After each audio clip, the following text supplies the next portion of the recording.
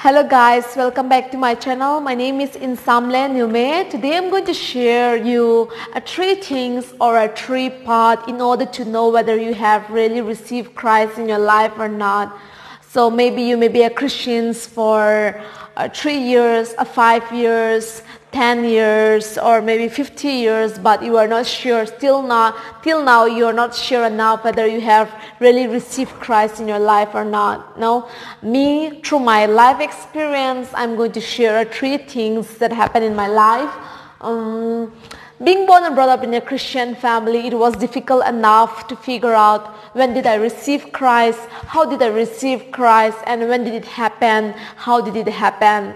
So like the three things or the three part that I'm going to share is first, number one is before I receive Christ, and number two is how it happened, and number three is like um, uh, after I came to know Christ, so number one is before. Before is like before I received Christ in my life, uh, some of the things that happened in my life is number one is I failed to realize that I'm a sinner.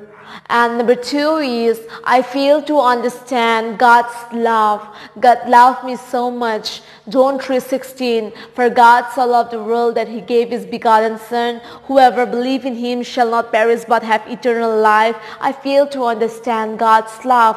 Number two is I do pray. I do sing a song but I do not understand any meaning. I do pray as an obligations. I do go to church. I do go to Sunday school, youth service. Uh, as an obligation, being as a Christian, I must do it and I need to do it. I pretend to love God, but there was no personal relationship with God. And so this is some of the things that happened before I received Christ in my life. And now, how did I receive Christ in my life? Revelation 3.20 says, Behold, I stand at the door and knock. If anyone hear my voice and open the door, then I will come into him. So just a simple step by opening the door of my heart, trusting in him, having faith surrendering my life to Him to take control of my life. Just one step of faith.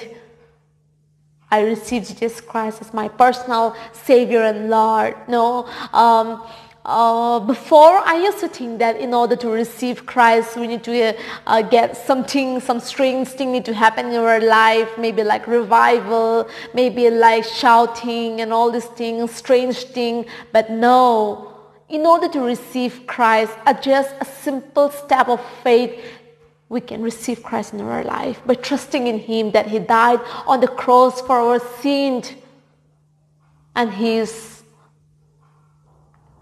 rose again on the third day. Now just simply trusting on Him, having faith in Him is enough in order to receive Christ in our life. Now, and point number three, I mean part number three, how uh, I mean, after I received Christ in my life, many things happen. Like point number one, very important things is whenever I do sin, whenever I do mistake, Holy Spirit do convict me in my heart that I am rebelling against God. And point number two is like I have a hunger and thirst for God's word to know Him in a better way, to know Him more. And point number three is I started bearing a fruit of the Spirit that have been taught to us in Galatians chapter 5 verse 22, 23. And point number four is I started seeking the lost soul.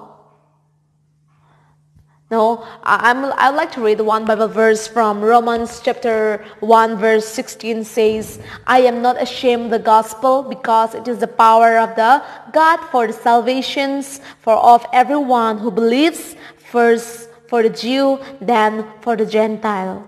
So when I receive Christ in my life, I am no longer ashamed of the gospel. I'm always ready to share the gospel anywhere and anytime. So this is some of the things that happened in my life after I received Christ in my life, before, how, and after. So I hope it will help you. Maybe someone maybe they're out there watching these videos, having a question in their mind, do whether they really receive Christ in their life or not, just like me, or even after receiving Christ in your life. So hope and I believe that this video will help you in order to examine or evaluate yourself whether you really have Jesus in your life or not. Thank you for watching these videos. Please do subscribe, like, share and subscribe to my channel.